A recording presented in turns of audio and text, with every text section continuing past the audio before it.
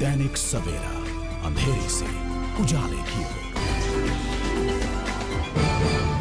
राजनीति व पंजाब के बिगड़ते सामाजिक व शैक्षिक हालातों के ऊपर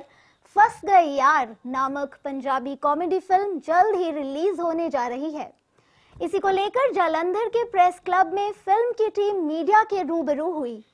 फ़िल्म के बारे में बताते हुए फ़िल्म के निर्माता नवी गिल ने बताया कि वे पिछले पाँच साल से फ़िल्म इंडस्ट्री से जुड़े हुए हैं और ये उनकी पहली फ़िल्म है जो कि क्लासिक फ़िल्म प्रोडक्शन के बैनर के अधीन रिलीज़ होगी। इस बारे में और अधिक जानकारी देते हुए उन्होंने बताया कि समाज में फैली कुरीतियों में पंजाब का युवा कैसे फंस चुका है, उसी को लेकर ये फ़िल्म बनाई गई है।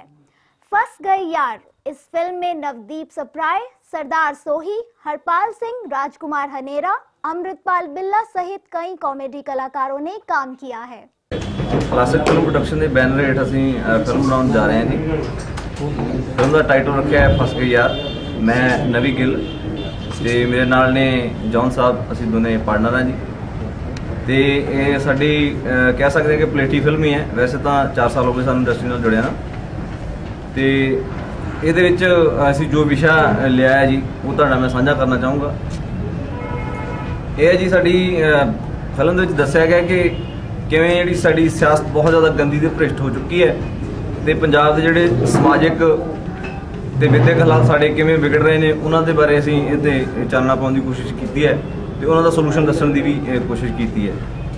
ਤੇ ਇਹਦਾ ਸਾਡਾ ਪੇਸ਼ਕਾਰੀ ਦਾ ਮਾਧਿਅਮ ਨਿਰੋਲ ਕਮੇਡੀ ਹੈ।